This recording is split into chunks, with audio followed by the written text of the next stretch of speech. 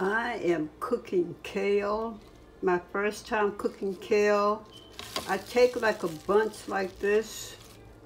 The same thing I do with my collard greens. And I cut off this long stem right here.